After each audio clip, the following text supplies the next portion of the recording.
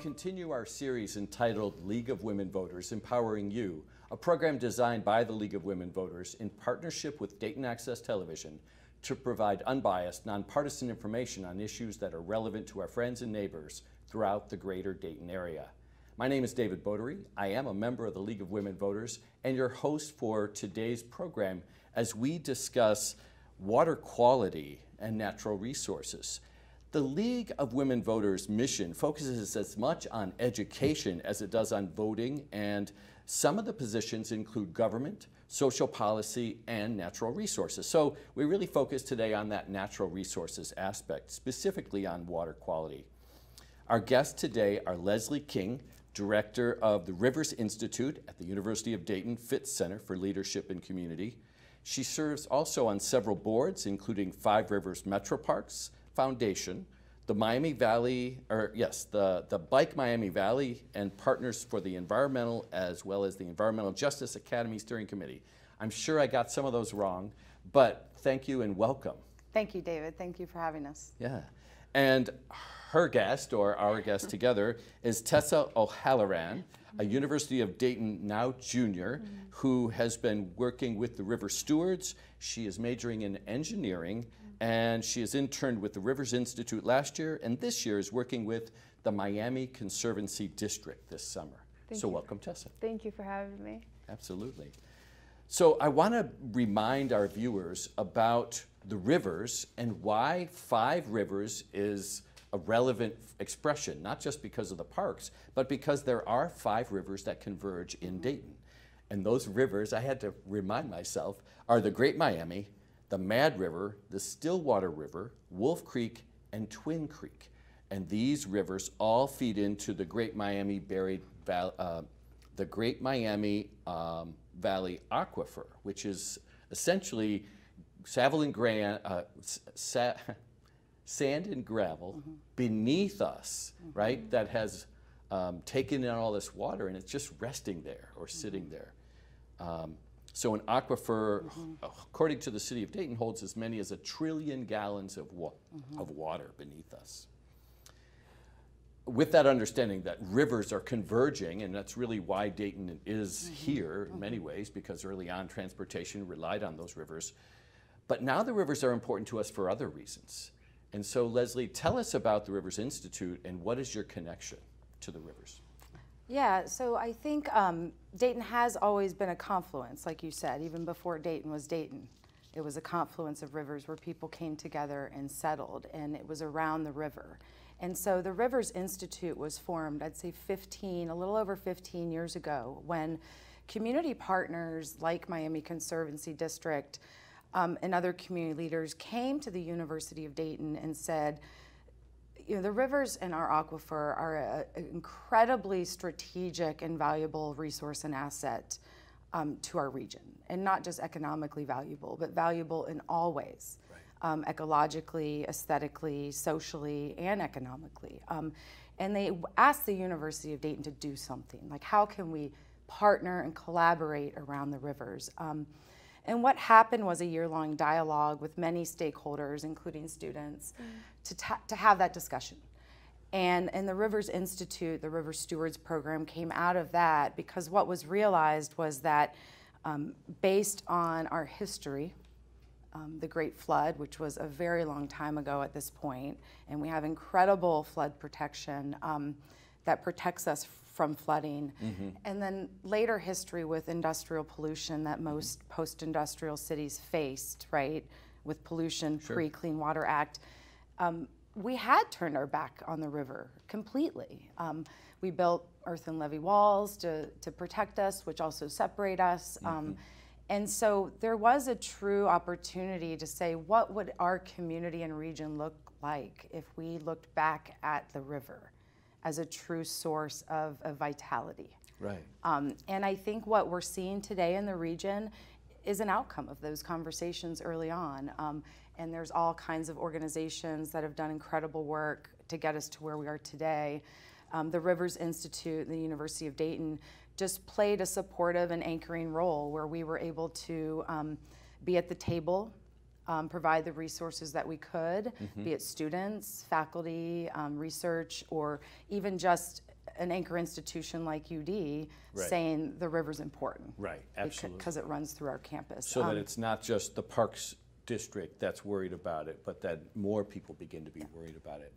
And Tessa, you've been involved a couple summers now Mm-hmm. on some projects connected to the rivers. Tell me what you've been doing. Um, so of course, so I started as a river steward this sophomore year, and I'm going to be a junior. Um, especially, I think when we've been talking, and like you were talking about, like looking back at the river and like the resources that the river gives Dayton. We did a project this last spring where we did made a video for Dayton's uh, water festival, Oh. and we asked uh, University of Dayton students what's the number one resource like natural resource in Dayton, and not a single person naturally gave us water. Everyone said coal, uh, gravel, sand. No one said water, Really? and so just yeah, no one said it. And then so I don't know. That was one of the projects we did. There was so many. We have like river cleanups.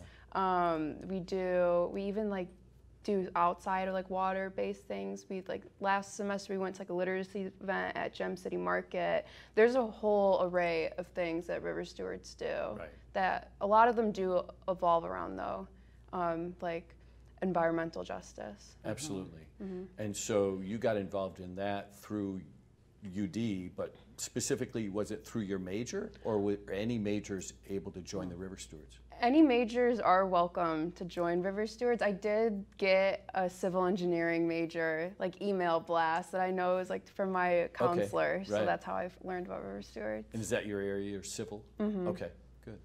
But other majors then could also join the River Yes. Stewards? We try to bring in as many different majors as possible.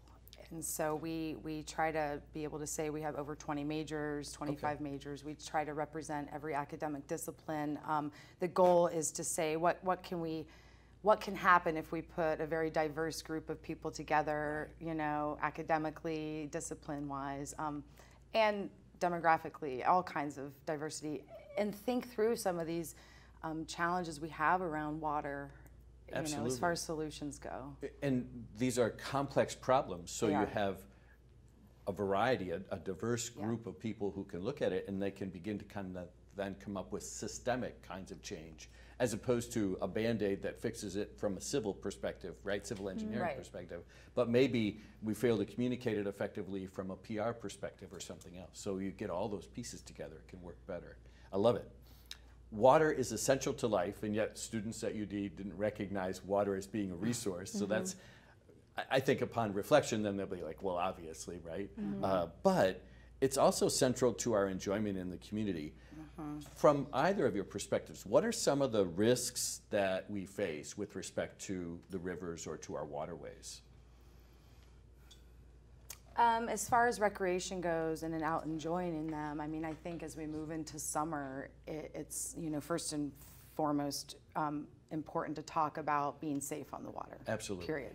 Um, and life vests, right? And so there already been many incidents, you know, across the country, and summer's barely started Sure. of, of challenges um, on the rivers, people not wearing life vests. So I'd say first and foremost, we have amazing rivers to get out and enjoy. They're family friendly, but you got to wear a life vest. You got to be safe. Period. You have to be safe. Other than that, moving into the summer months, I think most um, paddlers are aware that you know if it's really hot and we don't have a lot of rain, we get some algae blooms, right, in our region. And so I think it's important to know how to monitor that. Um, if you go to different websites, you can find information on that as well as um, how the flows of the river and, and other ways to stay safe. Um, so those are, say, the basic things. Um, other than that, you know, there are larger issues people are looking at in the area as far as water quality goes. Right. In regards to, to PFAS and some other contaminants. That was the one I was thinking of, and we actually, a year ago or so on this program, we did take a look at PFAS. Yeah.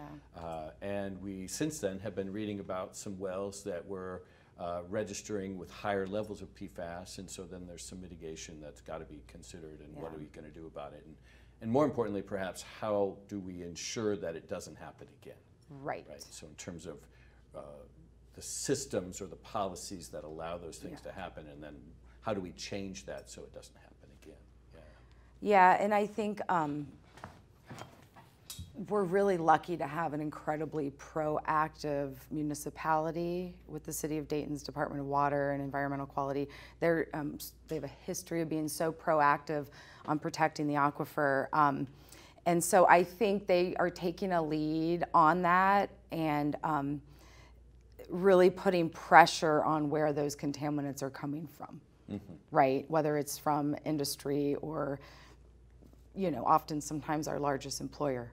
Right. So, like you said, it's complex, Yeah, it's very complex. right? Um, but I think the goal would be, you know, that everyone understands that the shared vision is to have clean, safe drinking water Right. for a long time, Yeah, forever. forever. We hope. um, as you did your internship, do you, oh, or maybe with the River Stewards, do you go out on the waterways as a student? Um, yes, we I've we've been on the water a couple times this year, like as a group, as a whole. Um, all the river stewards, we went a couple times in the fall and weekly, Saturday and Sundays. Oh. The outdoor recreational, um, uh, the like I don't know what, what you call outdoor rec at UD. Yeah. They host free kayaking on Saturdays and Sundays. So at Old River Park. So, Good. Yeah, and even Riverscape. I feel like a lot of people, students, are usually there. And so Old River Park, Mm-hmm. viewers will remember being the NCR facility, but now that's owned by Dayton, is that right? Yeah, University of Dayton. So, I'm sorry, I, Yeah. in my head. But, but, so then that is actually a space that you can access and utilize um, as students, which Mm-hmm. is really cool. Yeah. Uh, what about in terms of environmental kind of pollutants and things like that? When you're out on the rivers, do you see the trash that people have neglected to properly care for? And what are the things you notice most? Um, when we done when we have done river cleanups, we've seen honestly like bottles of alcohol. That's like a one thing that I don't know. We definitely would pick up just like empty bottles. Um, actually, like gallons of gasoline or some type of oil. We I've picked up like at least four of those. Those are like really common. Um, I'm trying to think what other. A lot of plastic, just like plastic bottles, soda cans, water bottles. Um, most people I feel like don't realize, especially a lot of the drains that in our communities they dump to the river and they don't go through like some sort of cleaning process. Right. And I see, I always see on campus kids just like dump things down there, and so, but those are probably the most like the bottles, glass bottles, and plastic bottles. Right. Um, and and it's I guess so obvious, and yet somehow it's not evidently not obvious to everyone. Uh, you know, in terms of the way that I approach my own living. Uh, mm-hmm. yeah, if I brought it into the car, I'm not going to toss it out of the car. Mm-hmm. I'm going to take it with me to then mm-hmm. wherever, if it's to my own trash can or to a recycling bin or whatever. So those are basic, simple things that we have to f- somehow find a way to ensure people understand and do consistently. Um, There tends to be a lot of trash along the levee walls after a mm. heavy rain. So after the river goes down, all that trash is there, and it's a great time for anyone to go out with a trash bag and, and pick it up before another heavy rain comes and, and takes it down washes it again. And so, down. you know, people seem to not want plastic on beaches, right? Like there's a big, oh, there's plastic on the beaches, microplastics, right? Yeah. But it comes from places like here. And so I think we should care equally as much about the plastic, you know, along our riverbanks.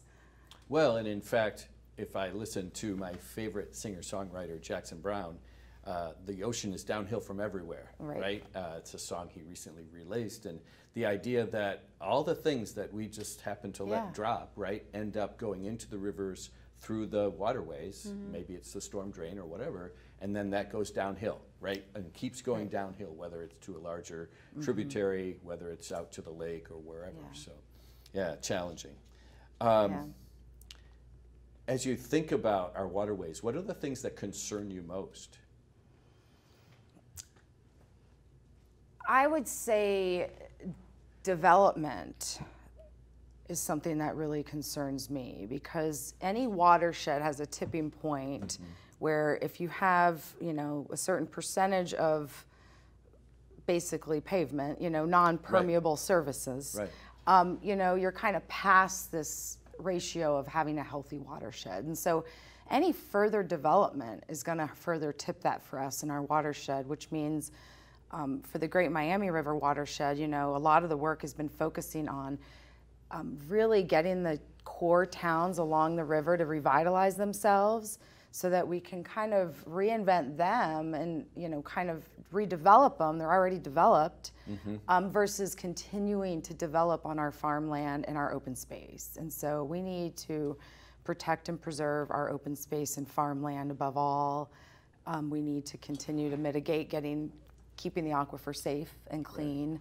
Um, and then i think we need to get people out to enjoy the water in the river whether that means a sunset Oh, good. Or um, kayaking if you're into that, but really just watching a sunset on the river, taking a walk on the river, um, can be enough to make you realize that we are special because of our rivers. Really lucky. We're really lucky. Yeah. And it's not just because, um, well, it's for a lot of reasons. And one of the reasons is because more and more with droughts, you know, people don't have water. Right. Right? And they're going to be rationing. And so not only do we have an abundant amount of water resources. It also makes our region, you know, beautiful and ecologically healthy and a great place to recreate. Absolutely. We can even bike along our rivers, over 300 miles of connected paved bike trails. I'm thinking about so many different directions we could go. I mean, one is that we have this sort of I don't know, romance with pavement, and I don't right. understand it. But you know, concrete and pavement, as if somehow there were no other options. Right. Uh, and yet, permeable surfaces would allow for more water to be able to um, filter through, mm-hmm. as opposed to rush to the culvert down into the waterway, right? So, are, I don't even know. Does UD have any engagement with these alternative kinds of permeable surfaces? Is there any research that you know of that's going on or any places that we could turn to that are using those kinds of surfaces?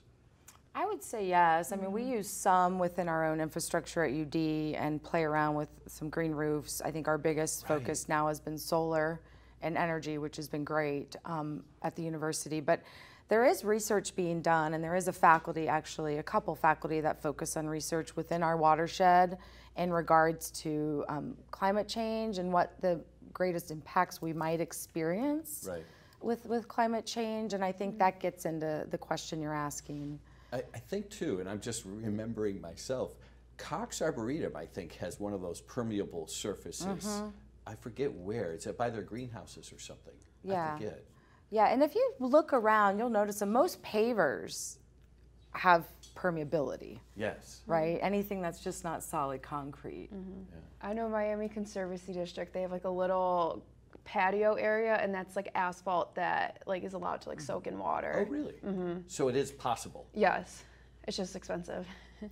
Isn't that and it's a trade-off, right? Yeah. Because the yeah. expense of not having water to drink right. is the alternative, right? I mean, we mm-hmm. could get ourselves into a position where we really cause our own problems. Right. So we have to find the balance. Mm-hmm. We could pay for it now or pay for it later. Yeah. Agreed. Um, I do have a brother-in-law in California, and the water issues in California are really scary. Mm-hmm. Uh, and not only is it a lack of water for drinking water, but then all the other things that we use water for naturally, right? Uh, and of course, water is also useful in terms of growing the produce that California mm-hmm. is so well known for in terms of producing. So we, we really have to think about this and figure it out. We do. I also, I think, read something about it was California or Arizona that they're pulling lawns out. Mm-hmm. I mean, mm-hmm. they're just removing lawns because they cannot sustain that type of landscape out right. there. Yeah. So, um, once again, we're lucky to have access to all that water. so I'm, I'm curious if there are partners that UD is working with that you want to name uh, that our community would need to or could benefit by knowing more about. I'm guessing Five Rivers. Yeah. Five Metro Rivers Parks. Metro Parks has been an excellent partner. Um, the City of Dayton Water Department mm-hmm. and um, Sustainability Office are great partners, and we have um, River Steward graduates okay. that are working in those offices oh, right. actually now, and so it's nice to see our graduates, you know, go off and do great things, but a lot, a lot do tend to stay in the region and want to contribute to making our, our watershed and city a better place. Um, another partner that's been a great partner for us is the Little Miami Watershed Network. Um, and the work that Hope Taft and her many volunteers um, have out in Greene County and Clark County. And um, beyond, and they've recently also helped form the Ohio Scenic Rivers Association. okay.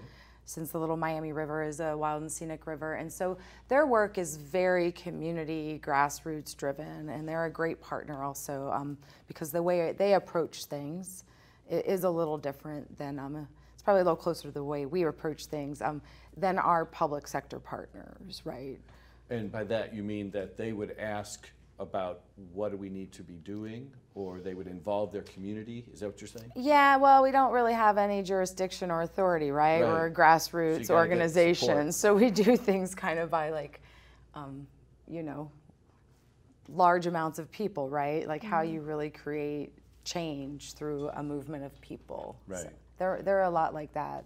And so you said uh, Hope Taft's organization is the Little Miami Watershed Network. Watershed Network, and then of course there's Five Rivers Metro Park. So if people are looking to volunteer Uh-huh. to do some sort of river cleanup or to, in other ways, environmental kind of Yes. sustainability, they could turn to those organizations. Yes, and, and they have a huge river cleanup June 11th on the Little Miami River that people could contribute to. That's excellent. And um, there's also a couple new groups that people should be aware of. The um, Great Dayton Cleanup started during COVID as a way to get people outside, and this um, community leader, this just initiated an amazing amount of trash being taken out of the river. So you could probably find his cleanups on Facebook, um, the Great Dayton Cleanup. And then now there's Surf Dayton, Oh, right. right? That is really actually kind of creating a um, Ohio River Surfing Association, and, and they're developing a stewardship approach to keeping the rivers clean since they're in them when they surf. yeah. They're in them way more than a kayaker. Right. They're really in the river. No, that's cool. That's very, So they're new up and coming groups. that's so exciting. Um, what about from a government or a policy perspective? Are there things that through your work you've come to understand are need our attention? Uh, things that you know maybe people are not aware of, other than maybe our city of Dayton folks. Are there any policies or government kinds of levels of activity that we should be thinking about? I, I think people should be aware where their water comes from, and then therefore they should be aware of what kind of um, policies are put in place to protect their water. Right. And so we do have good policies, but that doesn't mean they're going to be there forever, right? So you have to think about that, that power you have as a voter, and how we need informed leaders, right? Um, and so we have the Wellfield Preservation District. Yes. We have the um, Aquifer Sub-Preservation District. um, And so there are a couple different laws and policies in place that do control what happens over our well fields, right? But those could change. Um, Innovative strategies, I think, would be interesting for people to take a look at, would be this concept of how rivers, lakes, waters ha- have rights Right. right? And so we've seen that in some countries happen, right? We've seen that, you know, almost happen in Toledo around the Lake Erie water crisis. Um, we've seen Costa it in Rica approaches Costa Rica, New yeah. Zealand, Bolivia. So there are examples of that, and I think it's worth thinking about how our aquifer could potentially look at that because of the fact that it has the potential to provide Right. safe, clean drinking water for so many people for so long Right. it- it's, it's it's almost a social responsibility. Right. Well, and it We have. harkens back to a Native American perspective as well. So, uh, given the land that we exist on, right, which really isn't ours to begin with, uh, but our Native American ancestors would remind us that, right, Right. this is belongs. And I'm so glad you brought that up because that's why I started by saying, you know, long before we called it Dayton, this was always a confluence of five rivers. And um, it was supposedly a place of peace because of that, because um, native tribes knew Hmm. Oh, there converge. was so much crossing here Oh, that it couldn't necessarily be I just got chills. it was it had to be a crossing of, of paths and Right. a place of peace, a confluence of peace. That's so cool. So, I'm we glad have you the shared Peace that. Museum, right? Yeah, uh, yeah, one of the few places that has a peace museum in the nation. Yeah. Yeah, I learned that from Guy Jones, who's a Lakota elder in town, who Right. you probably know. I know. him. Yeah. That's super cool. No, that's, I'm glad you shared that. He's a great partner as well for the Rivers So- Institute. From, from a student's perspective, um, I didn't ask if you were a Dayton native or if you moved to Dayton to come to UD. I'm from Homer Glen, Illinois. Okay, so Yeah. out of state. Yeah, out of You've. Mm-hmm. come to this region a- as, as a person who's come to UD and has now come to appreciate the rivers. Anything else that you want to share or any perspectives that you think that we should be aware of? Um, yeah, I mean, I've grown up. My dad's always like enforced in me that like water's one of the most important aspects of life. He's always said that like Lake Michigan is one of the most important like resources we have because that's where that's where my watershed is. Um, compared to like the, when you're talking about like laws and policies, I know there was recently like a bill HB 175 about streams that like these streams that don't technically have water in them all year round, but Right. will in the uh, In the spring, probably. yeah in the yeah. spring. Now it's it hasn't been signed by the governor yet. Last that I've heard last week, but now the bill wants to change it. They're not going to be considered streams anymore, so people can like lay concrete. So like Leslie said, like so we do have laws in place, but they can always change. Right. So just being like aware of constant news and being um, just like proactive. I know we had the River Stewards, we had a service opportunity. Hope Taft helped us with it, and we got all the, uh, I don't know, like the counselors' a- um, addresses and mailing addresses, and we all wrote them letters Right. about HB 175. Good. Mm-hmm. That's so cool that you're involved and you're engaged and you know about that. I wasn't familiar with that, but Mm-hmm. uh, I, I will learn more now and I'll check that out. So, um, and I'm sure a lot of it has to do with the development, right? Because people somehow want new homes as opposed to uh, Yep. finding spaces in some of the older homes or something else. But um, yeah, it's a challenge and we have to find the balance, I think. Any last That's thoughts as we wrap things up?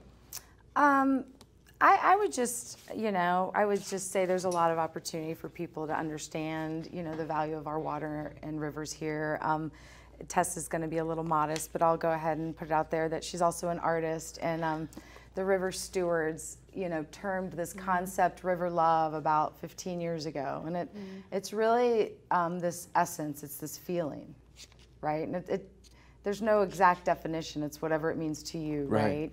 And so another project Tessa worked on this year was um, developing a logo for that and stickers. And so maybe you'll see those on T-shirts soon, where you can um, buy a River Love T-shirt or sticker. And another one is Be Like Water. And what we're trying to do is kind of get Dayton to understand this is who we are, Right. right? We have water, we have rivers, and um, it's something to really promote. But just like the fish in the water, it's around us so much, I think we forget about it. Yes. Just like your students at UD, right? They probably have been on the river, but they forgot about it as a resource. They certainly are drinking the water, but they forgot about it as a resource. So uh, I guess we have to be like, not like the fish, but like the water, right? And Yeah. Actually, And maybe appreciate it before it doesn't come on one no, morning, that's right. right? That's right. Well, thank you very much. Um, I want to uh, thank you, Leslie, Director of the Rivers Institute at the University of Dayton Fitz Center uh, for Leadership in the Community, and Tessa O'Halloran, uh, a UD junior. Congratulations, almost you. done, uh, and a river steward, and working with the Miami Valley Conservancy District this summer. Uh, and thank all of you for watching LWV Empowering You. The League of Women Voters encourages everyone to participate in every election. If you have any further questions about this or upcoming programs, you can contact the League by emailing league at lwvdayton.org. You can mail us again, that's league at lwvdayton.org, or call our office at 937 228 4041. Thank you for sharing your time with us, and be well.